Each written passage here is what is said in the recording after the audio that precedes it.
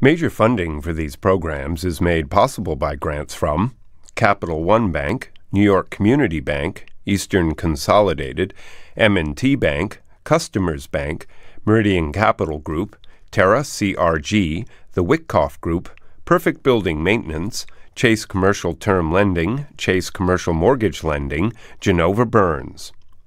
Additional support is made possible by AKA Hotels Korman Communities, AmTrust Title, Ariel Property Advisors, AVR Realty Company, Bank of America Merrill Lynch, Bank Leumi USA, Briarwood Organization, CBRE, Citizens Bank, Connect One Bank, Colliers International NYC, Collins Building Services, CPEX Real Estate Services, Dime Savings Bank of Williamsburg, Douglaston Development, Levine Builders, Fisher Brothers, Flushing Bank, Friedman LLP, Hendler Real Estate Organization, Hersha Hospitality, HAP Investment Developers, Hodges Ward Elliott Inc., Investors Bank, iFunding, James D. Kuhn Real Estate Center at Syracuse University, Kilroy Architectural Windows, Madison Realty Capital, Matone Group, Mercantile Commerce Bank, New Banks, Newmark Grubb Knight Frank, Optimum Window Manufacturing Corp., People's United Bank, Paulsonelli, Rosewood Realty Services, SJP Properties, Sterling National Bank, Stonehenge Partners, TD Bank, the Continuum Company, the Knackle Group at Cushman and Wakefield, the Meringoff Family Foundation, the Moynihan Group, and these friends.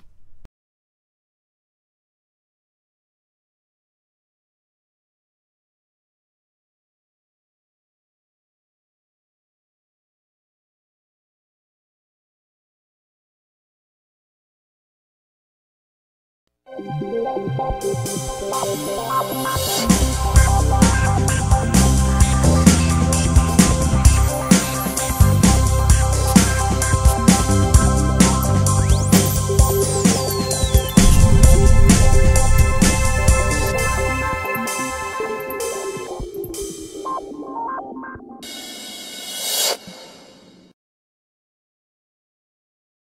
There's a lot of questions of what's happening in healthcare. So today, on the 16th anniversary of the Stoler Report, I am going to have people discuss the emerging trends in healthcare. My guests include Dr. Andy Racine, who is the Senior Vice President, Chief Medical Officer at the Montefiore Medical Center, Tony Ferreri, who is the Executive Vice President at Northwell Health, Dr. Arthur Klein, who is the President of the Mount Sinai Health Network, and last but not least, Dr. Gary Kalkut, who is the Senior Vice President in charge of network integration at the NYU Langone Medical Center.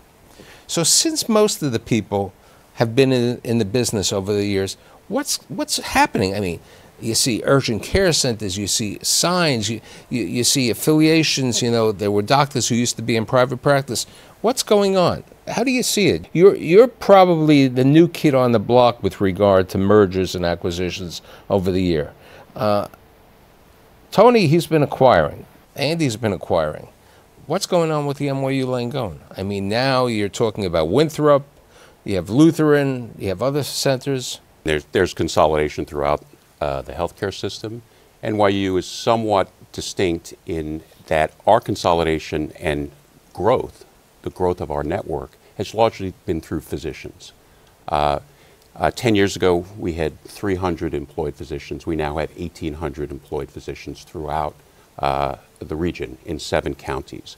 Certainly with Lutheran and in discussions with Winthrop, we believe those communities and the physicians in those communities need strong hospitals to admit the patients when they need to be admitted. But we are an ambulatory system, and uh, there's excellence in the hospitals, but the same is true throughout this network that we have built uh, with ambulatory practice. But, the belief so, is, so, but you've grown internally, okay? You take a, a Northwell, uh, who, and also uh, all three of you over here, you've you've grown by mergers. Now there was a PwC report recently saying that not all mergers work. They don't work financially. Every different, you know, the the different uh, possibilities that take care of it. How do you see mergers? How how important are mergers, and how do you make a successful merger?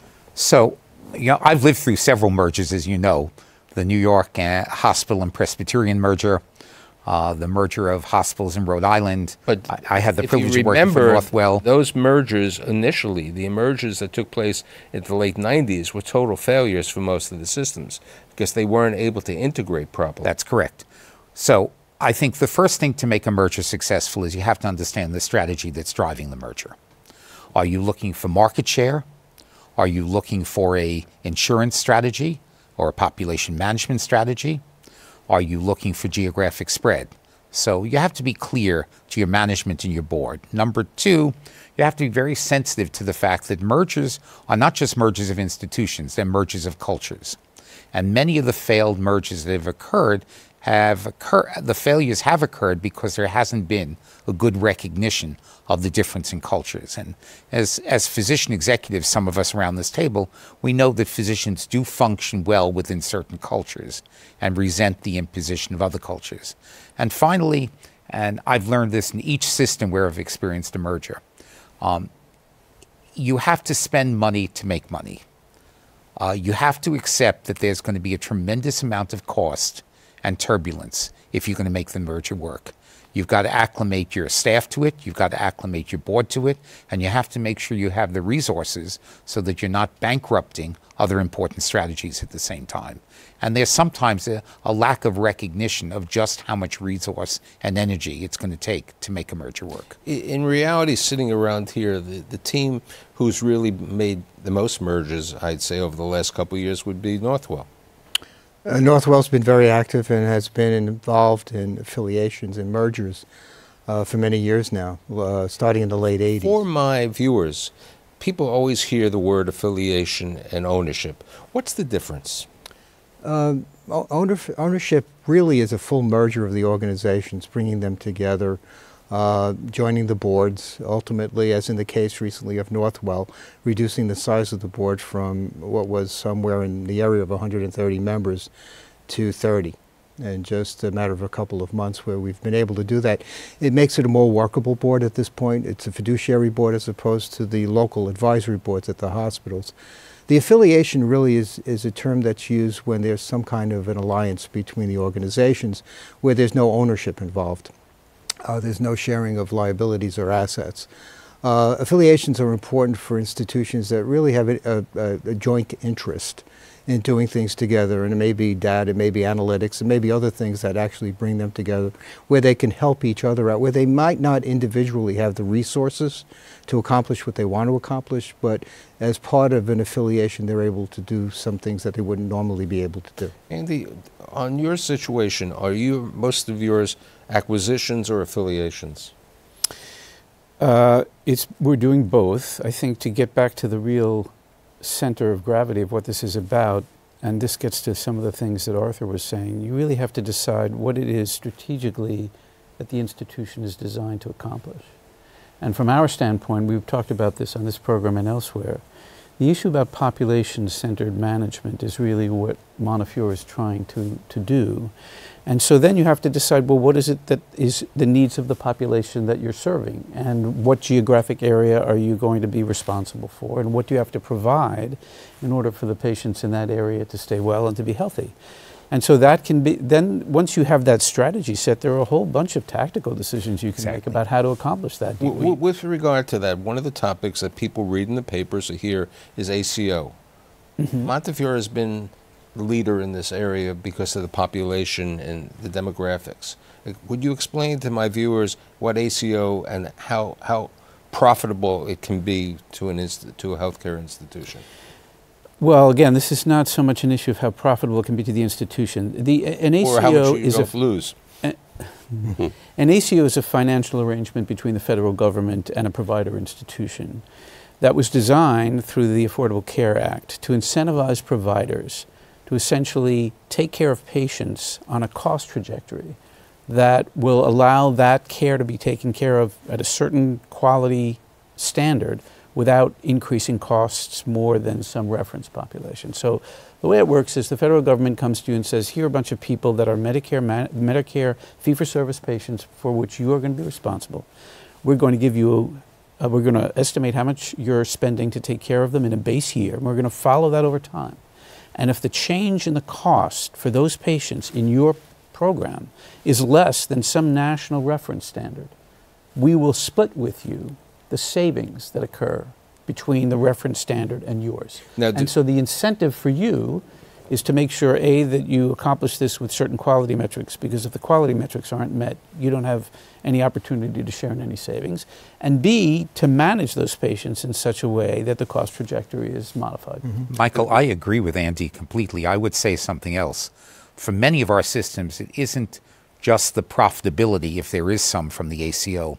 It's the experience we're gaining in learning how to manage populations so that we can, in essence, deal with the tremendous cost and burden of healthcare in this country. What we want to do is take away the burden of a lot of expense for low acuity healthcare when it can be delivered more efficiently and more cost effectively and be able to continue to invest in what's made American healthcare great, which is technology, research, innovation. right and the bottom i'm sorry go ahead gary Well, and, and, and there's a spectrum uh, of, of assuming risk. There's sharing uh, of savings with the government. Uh, that's part of the ACO model.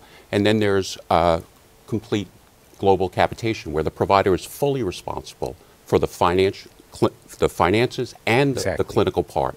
And I think that spectrum is, everyone is in some part of that spectrum right now, and that's going to evolve. In a the way, risk is- is a key, though, because it, it, the incentives then align with providers But, but, uh, i- but in essence, directives. if, if you, what we're saying is, if we keep the patient healthy, we're going to be able to, to cut the risk.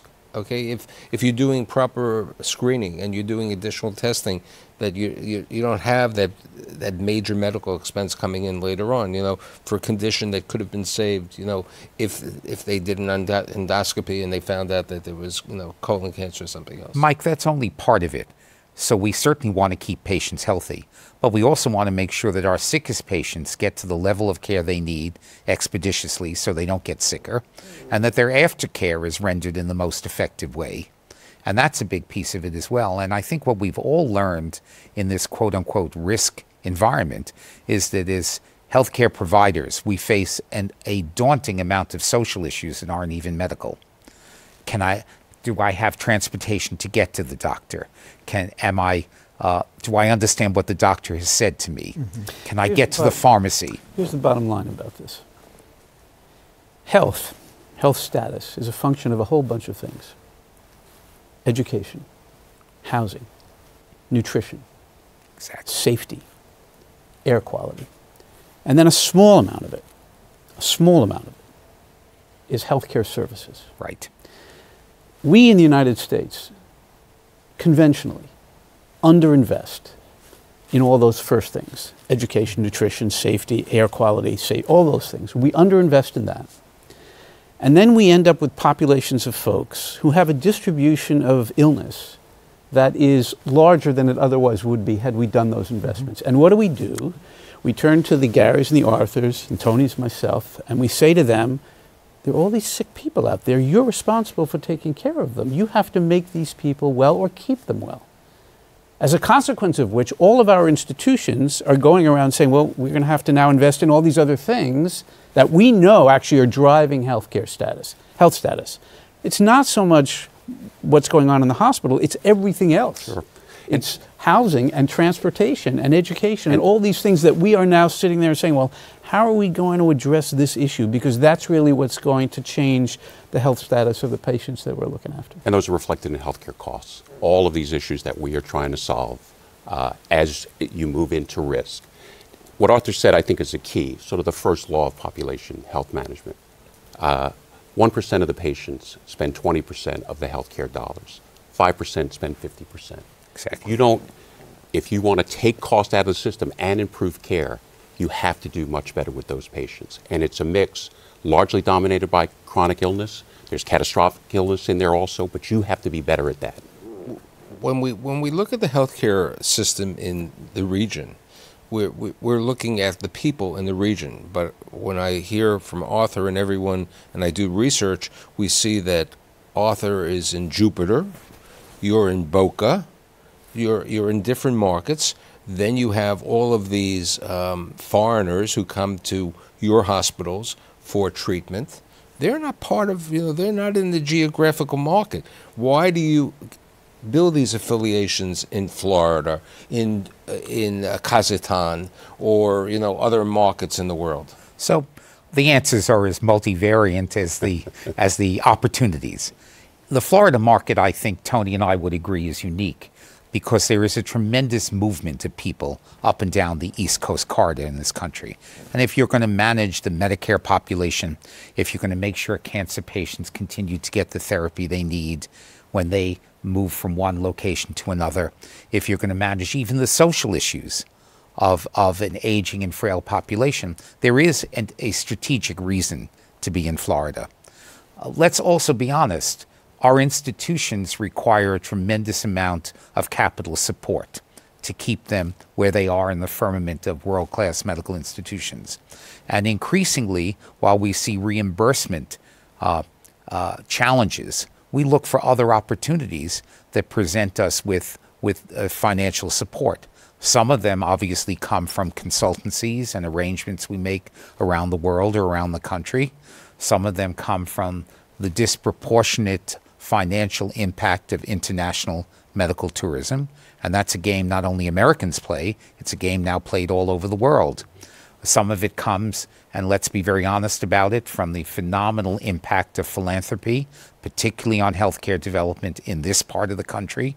We've all of us around this table have been the, around this room have been the beneficiaries of that. So it is really a complex question that you've asked, Mike. To, to Arthur's point, uh, and, and, in our case at Northwell, with our relationship with Boca Raton Regional Medical Center, uh, we follow the patient. Uh, and, and Arthur said it very eloquently that uh, what, what we do is that there's a need to provide a service and we follow the patient to wherever the patient goes. We share medical records, health records between Boca Raton Regional and the Northwell Health System to make certain that when one of our patients is in Boca Raton, is in Florida. They have an opportunity to have their record shared. And there's a concierge service where there's a, a, a nurse practitioner at Boca who follows the patients when they come down from the northeast down to the southeast. So, so our expansion uh, has been driven by where our patients live. Mm-hmm. And uh, our interest in Florida is the same thing. There, there are many patients. Are you in Florida now? We have discussions going on in Florida right now. Mm-hmm. But we're in Suffolk County and Nassau County and Upper Westchester. That's where our patients live and are referred into. Their families are there. That's driven the expansion. I, I, I hear Suffolk County. I can understand Montefiore, uh, Westchester. I can understand Nassau and Suffolk County over here. But then I hear National Jewish Hospital in Denver, and I hear Children's Hospital of Philadelphia, and I say, that's out of the region. So I, I can answer that probably since both of those are Mount Sinai initiatives. In the case of National Jewish, it was a recognition that they had a reputational status, a clinical status, and an academic status, which could rapidly enhance our pulmonary service to the benefit of our patients and to the benefit of the communities we serve. And that's what that relationship is all about. And for Children's Hospital of Philadelphia, it was again a very strategic decision that the footprint of pediatric services at Mount Sinai clinically was small and not of the reputational status of Children's Hospital. Yet in the city of New York, we do have a Montefiore has a wonderful children's hospital. New York Presby uh, has a uh, an excellent children's hospital. We're building you're a building hospital. A children, you're building a children's hospital. You know, with Don't state Northwell. have, Northwell has Children's, Cohen's Children's Hospital that goes back to Arthur over there. Mm-hmm. So we have these other facilities. Now, in, in the same manner, is when we do these mergers or affiliations, we have duplication of you know certain specialties. Like we have a number. We were talking about a number of cancer centers that we have, you know. And the question is, um, out of nowhere, uh, MD Anderson, who's been advertising, you know, they, they took out the word "we're no longer cancer." I mean, their, their marketing approach, which you came out with a new pro- approach in May, also on marketing uh, over there. Uh, MD Anderson out of Texas is now going into with the Summit Medical Group in New Jersey. Okay, you know, so they're coming over here. So there's, you know, you're, you know, the, the territorial markets over there are, are changing also five years ago, eight years ago, Hopkins was advertising in the New York Times on page one for Johns Hopkins. I think a lot of that, MD Anderson, national reputations, CHOP, are looking to expand their market. Right. And the New York market is, although certainly crowded, has 15 million people, and depending on where you draw the geography, 25 million people. It is uh, an irresistible target in some ways. So, Mike, it would be hard to go anywhere in the world and find the competitiveness that exists in the New York market. On the one hand, it's an advantage because we get the best and the brightest because we're competitive and it keeps us on our toes and it makes us be innovators and it makes us make sure our population's well served. On the other hand, for those very reasons, we, we, we have to depend on being basically as complete in the service array as we possibly can as individual systems. And that's just a very big part of the uniqueness of the New York market. And, and in the specialty market, you know, if you talk about this way, New York is the home of, uh, you know, Memorial Sloan, who has growing themselves. They're in Westchester, they're in New Jersey. They're opening the Pennsylvania market over there in the situation. And then recently, right now, I understand, I think it's Jefferson and, uh, no, University of Pennsylvania and Princeton Medical Center are planning a merger. That's correct. And, and uh, uh, uh, Dana Farber is coming into Stamford, Connecticut. what's happening with this telemedicine? Okay, five years ago, nobody heard about telemedicine, and there's a, there's talking about the Uberization of healthcare. Um, I think a lot of us in healthcare were caught by surprise by the phenomenon of urgent care, and which I would call immediate care or convenient care, and how that swept over the market very, very rapidly. And I think all of us learn from the urgent care experience that we are dealing with really significant generational issues about how our populations want to seek health care. They want convenience, they want immediacy, and, and they and they and they want us to think out of the box in the ways that we provide that health care. And one of those real uh, issues for us now is providing telemedicine, uh, basically remote access to healthcare How do you services. Tell a 65 year old patient who remembers the old healthcare system that I opened up that you are now going to go on a camera on your iPhone and you're going to see Dr. Racine, okay, on the telemedicine, okay? And or maybe not even see Dr. Racine, you may be seeing the nurse practitioner who's going to make an evaluation over there. But how do you also tell that same person that when they call their inter- internist for an appointment, that their appointment is three months from now? Uh, the success of urgent care centers is really has a lot to do with how healthcare has changed so dramatically to the point that we used to have house calls or you would call your doctor, I have a cold, come in and see me in, uh, this afternoon or tomorrow. Now you call and have a cold, I'll see you in three months. Right. The cold will be long gone by then. so I think it's the convenience, as Arthur said, convenient care that has drawn people, as you will see with telemedicine. It's the convenience of And, telemedicine. and it's not for everyone. Right. It may not be for a 65 year old, although there are lots. The convenience and access is, is critically important for many people. And if you look at urgent care use, a lot of it is for younger people, but it's, it's quick, it's I- I- convenient, and it works. ur- urgent care. uh, Do you have an affiliation with urgent care centers or your own? We have our own urgent care centers that are essentially um, in the same geography, in the same geographic location as our large ambulatory primary care network. But you're doing it in your network area. I mean, uh, Go Health has probably opened up about 32 centers, okay? And Go Health is affiliated, I think, with Unum in a way and also with you, okay? Uh, Go Health is jointly owned by Access Health and Northwell, with Northwell owning a majority interest in the sites, uh, and with um, Access Health owning a majority interest in the MSOs. now, at do the doctors work for Northwell? Do they work for Go Health? They work for Go Arthur, you, Health. you have a couple of urgent and we have a we have a, a good partnership with CityMD and with several other. Uh, urgent What do you mean centers. by a partnership with CityMD? Uh, we, we agree to work together for the benefit of the patient, which means if the patient needs additional levels of care, we're happy to expedite that. Uh, we talk about strategy. We talk about how um, how there are certain practices that would benefit by knowing that urgent care is available in their community when they're when it's after hours. You're, you're asking about uh, um, a snapshot in time of a rapidly evolving system. exactly.